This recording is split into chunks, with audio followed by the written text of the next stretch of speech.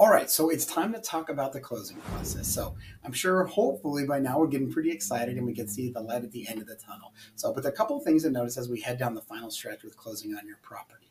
First thing is, is that we need to make sure that the lending docs are over to the title company because the title company is going to get all of those together the lending docs, the settlement docs, how the property is going to transfer through the deed, things like that. And what we want to do is start to review, especially the loan docs and the, and the final settlement disclosure, so that we can kind of take a look, make sure all the numbers are adding up, everything's where it's supposed to be. If, if we've negotiated a credit, the, the prorated taxes are right, the escrow fees, all that is correct so that we're not blindsided by anything and we can get a little bit ahead of it.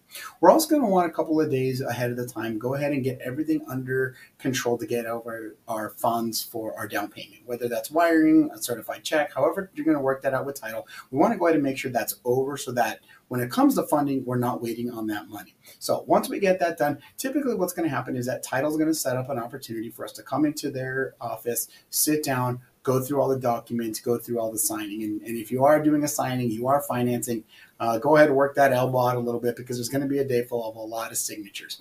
Now, for my cash buyers, um, not so big of a stack because you're obviously not going to have a mortgage with the property. So that, that will eliminate that signing. Uh, but we're going to go ahead and be doing that. Now, if you're not in town, if you're out of state, overseas, whatever the case may be, don't worry. Um, majority of the time, we can set up a mobile notary or get something in place, but let us know ahead of time so we have ample time to go ahead and get that done for you.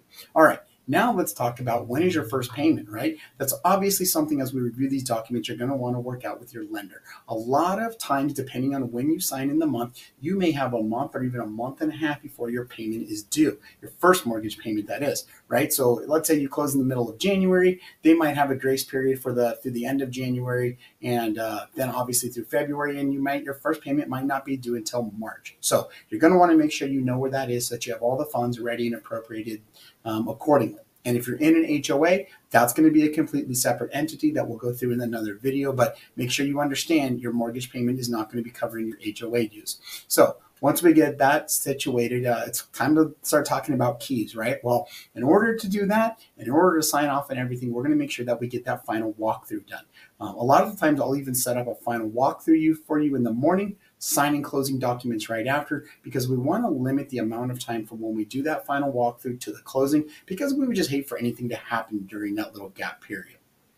So in that period, we're going to go make sure that the home is in reasonably the same condition as when we entered into that contract. Also, we're going to make sure any repairs that we requested to be done have been handled. We have the documentation on them. Um, in some cases, we might even have the inspector go back out and, and re-inspect them, but we're going to want to make sure that is all taken care of before we sign off on your final walkthrough. And so once all of that is done and we've signed off on everything, now it's time to go ahead and get you those keys. Um, typically, I'll be the one that's orchestrating that with you. We'll get you either over to the house, I'll make your arrangement with the agents, but either way, we're going to go ahead and get you those keys so that you can get to start to moving into that new beautiful home. Uh, so hopefully, you're going to have a smooth transaction, a smooth clothing, and uh, hope you have a wonderful time in that new home.